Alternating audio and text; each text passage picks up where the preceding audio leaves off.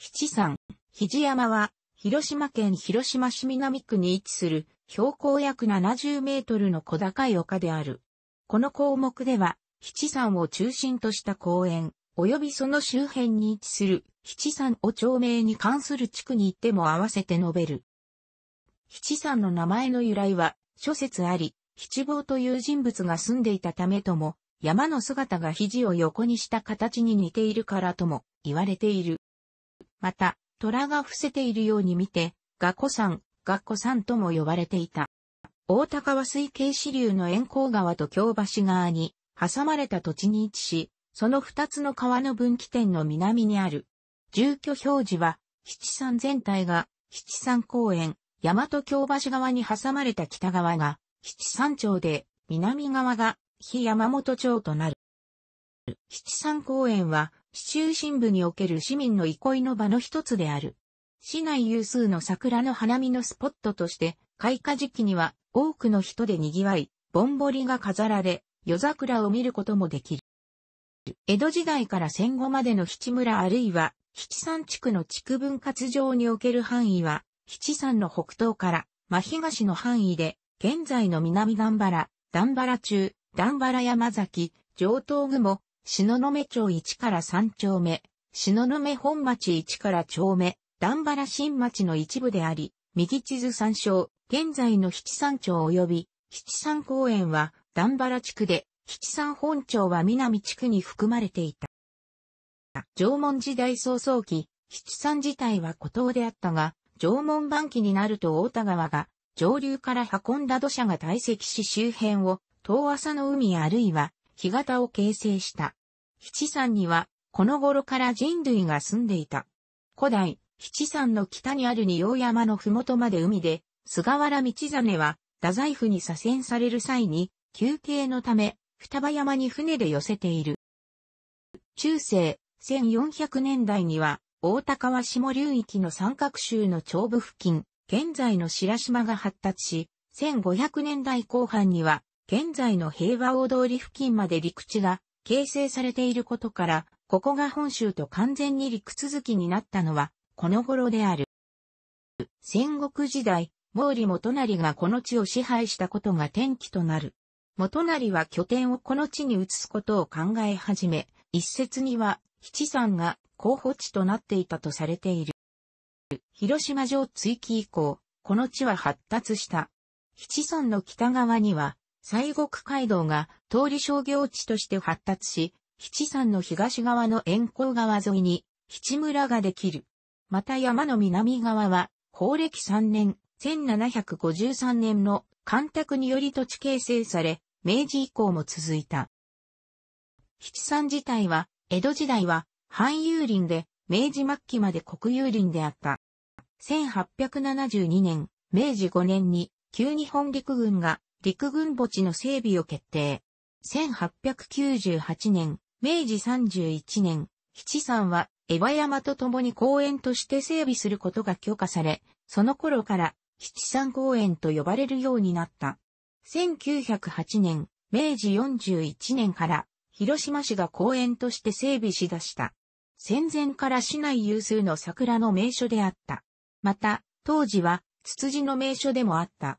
1909年、明治42年に五便殿が移設。陸軍墓地と五便殿は二大名所となった。戦前には、船舶砲兵団司令部、陸軍船舶兵や電信、第二連隊が駐屯していた。1945年、昭和20年8月6日、広島市への原子爆弾投下により被爆。ここは、爆心地から約 1.8km 離れたところに位置した。爆心地側である西側は壊滅したものの、東側は逆に、七山が爆風を遮ったことから影響が少なく、火災も広がらなかったと、七山によって対照的な被災状況となった。被爆当日は、多門院が臨時の広島県庁として機能した。市内中心部の被爆者はここに多数逃げ込んでいる。戦後も、七山は引き続き公園として整備された。1949年、昭和24年原爆障害調査委員会、アブックが開所している。なお、戦前から1986年、昭和61年まで東側に宇品線が通り、戦後1966年、昭和41年から南側に新広島バイパス、国道2号が通っている。1980年、昭和55年、広島市が政令指定都市になったことを記念して、芸術公園として整備が決定し、公園内にモニュメントが置かれた。合わせて博物館建設構想が上がり、広島市現代美術館や肘山公園、青空図書館、現広島市立漫画図書館が建設された。1990年代には山を貫通する七山トンネルが整備され、広島市中心部と段原地区とのアクセスが改善された。七山は七山トンネル付近で南北に2分される。南側に頂上がある。頂部は比較的平坦に整地されているがその周りは急斜面になっている。周辺の土地開発により元の山形は止めていない。大高川下流域の特徴である広島花崗岩類とそれが風化して堆積したマサドで形成されている。ここの花崗岩は毛利照元による広島城築城の際に石垣として採用されている。市中心部では黄金山と共に自然豊かな場所である。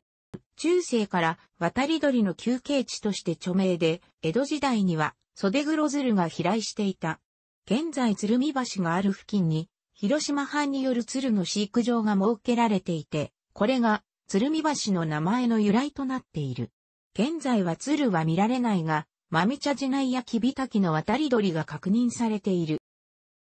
また、江戸時代ここは、繁遊林で、抜海や狩猟禁止であったことから、多くの生物が存在し、ハヤブサやイノシシなどが生息していた。当時領内でイノシシ被害にあった記録が残っている。